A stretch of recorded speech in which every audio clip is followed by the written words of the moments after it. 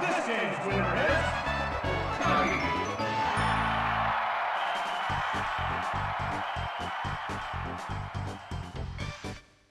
Free for all!